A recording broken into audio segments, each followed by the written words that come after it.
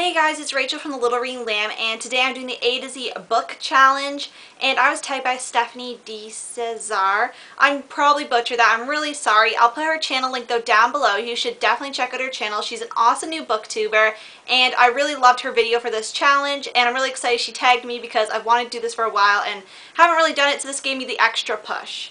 So before we get into it, I'm just going to say, I'm not going to say descriptions because I'm really bad at that. But top by Wednesday, you guys have seen me. I will either ramble on or I'll be like, this book was awesome because it was awesome. So I am also going to just show you the book covers instead of just explaining. And most of these I will probably have reviews on, but I'm just going to randomly pick them off my shelf and it'll be cut together so it's faster. You guys don't have to wait while I pick stuff off my shelf.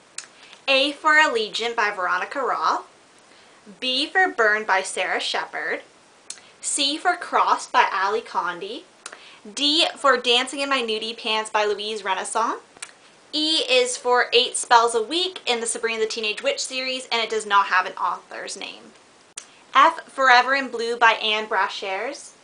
G, Gossip Girl by Cecily von Ziegesar. H, How Proust Can Change Your Life by Alain de Botton.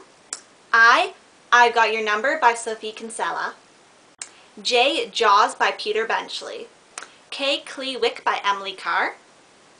L. Lucid by Adrienne Stoltz and Ron Bass. M. My Life Undecided by Jessica Brody. N. Never Have I Ever by Sara Shepard. O is for Origin by Jessica Khoury. P. Pushing the Limits by Katie McGarry. When I was just about to give up, I found Quiet by Suzanne Cain.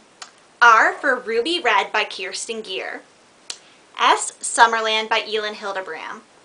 T for The Clearing by Heather Davis. U for Under the Dome by Stephen King. V. Victoria and the Rogue by Meg Cabot. W. Wanted by Sara Shepard. So I checked my shelves and I don't have a book for X, so I'm just going to skip X. Y. You Just Can't Get Enough by Cecily von Ziegesar. And finally, Z. Zack Strikes Back, and this is by Beth Cruise. Thank you guys so much for watching. I really appreciate it. This tag was so much fun. I want to thank Stephanie again for tagging me. Her video will be down below, so remember to go check that out. And I'll see you guys later. Bye.